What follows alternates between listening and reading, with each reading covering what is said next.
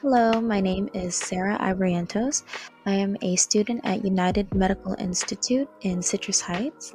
I am in my Mod 3 and I am doing my externship at Capital Pediatrics Cardiology. For my Capstone 3 video, I will be going over a quick protocol of an echocardiogram, as well as going over the transducers and knobologies used throughout the protocol that assess the functionality of the heart.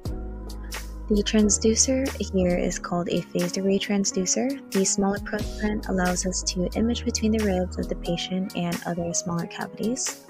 Before we begin, we be sure to thoroughly disinfect the transducer probe, making sure that we clean the very top as well as the handle and cord because sometimes it can get really messy. Then afterwards, we go ahead and place the gel directly on the probe as follows.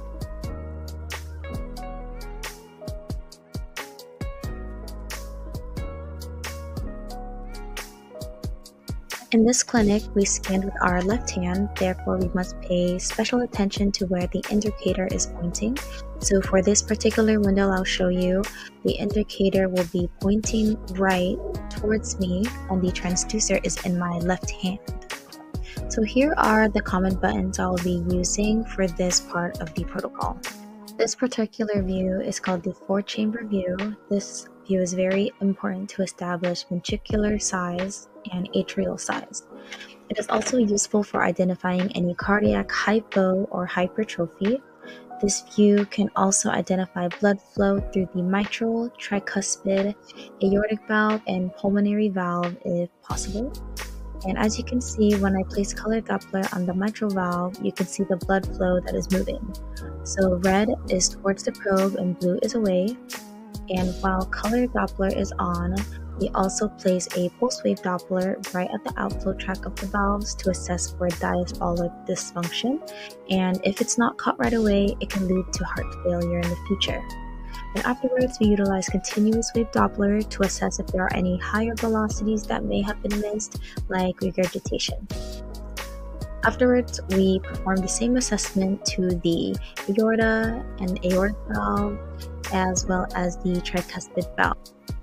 As mentioned earlier, apical four chamber view is a great way to assess the overall size of the heart.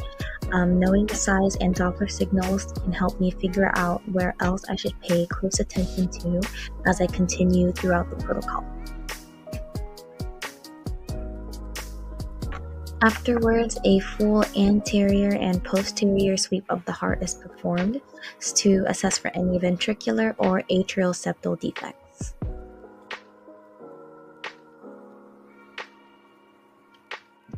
And once we're all finished, we just go ahead and wipe down the probe thoroughly with a clean paper towel and then disinfect it with a SaniWipe so that it is all ready for the next patient. And yeah, that is all. Thank you again for watching.